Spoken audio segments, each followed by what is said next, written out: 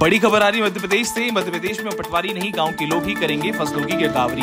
मध्य प्रदेश बीते दिनों से काफ़ी चर्चा में है। प्रदेश में इस वर्ष होने वाले चुनाव से लेकर पटवारी परीक्षा में घोटाले ने मध्य प्रदेश को सुर्खियों में ला दिया है। वही मध्य प्रदेश के किसानों का मानना है की पटवारियों द्वारा बिना सर्वे किए ही गिरदावरी की जा रही है। किसानों का कहना है की अगर सरकार ऐसा कोई प्लान ला रही है किसानों के खेतों में होने वाली फ़सल का वास्तविक रिकॉर्ड सारा ऐप में दर्ज होगा तो इससे किसी भी तरह की कोई गड़बड़ी की आशंका नहीं रहेगी। वहीं इससे कोई भी किसान फर्जी फ़सल बताकर प्राकृतिक आपदा पर राहत राशि या फिर फ़सल बीमा का लाभ नहीं ले पाएगा।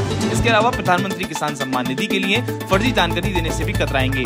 तैयारी इस बात की है कि गाँव के लोग ही फ़सल नुकसान का सर्वे करेंगे, न कि पटवारी। गाँव के लोग मोबाइल ऐप की मदद से गिरदावरी का काम पूरा करेंगे। ऐसी तमाम खबरों के लिए आप देखते रहें किसान तक।